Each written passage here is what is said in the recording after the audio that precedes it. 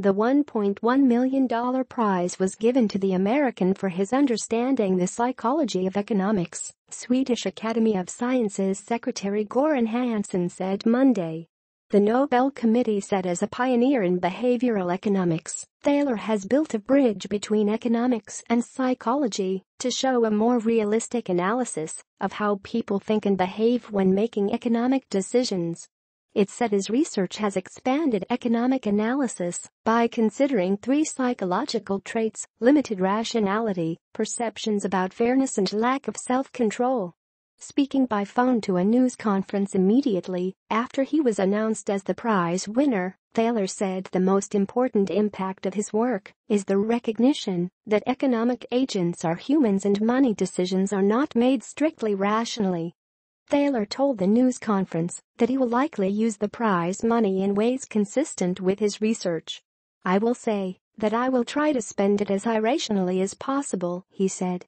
Outside of academia, Thaler has made a cameo in the movie The Big Short to discuss an economic phenomenon known as the hot hand fallacy, in which a person's success is seen as a sign he would be successful in other fields, with pop star Selena Gomez Asked at the news conference if he thought this observation applied to the U.S. president, he said, as to President Trump, I think he would do well to watch that movie.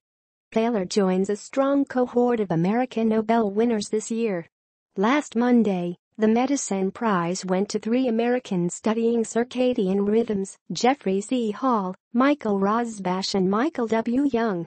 Three U.S. scientists, Rainer Weiss, Barry C. Barish, Kip S. Thorne, won the Nobel Prize in Physics on Tuesday. And on Wednesday, Joachim Frank, a German-born American biophysicist, became one of the three laureates awarded the Nobel Prize in Chemistry. The economics prize is something of an outlier. Alfred Nobel's will didn't call for its establishment, and it honors a science that many doubt is a science at all.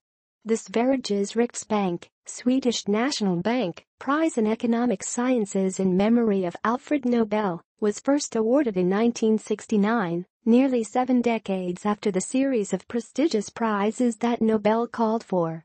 Despite its provenance and carefully laborious name, it is broadly considered an equal to the other Nobel, and the winner attends the famed presentation banquet.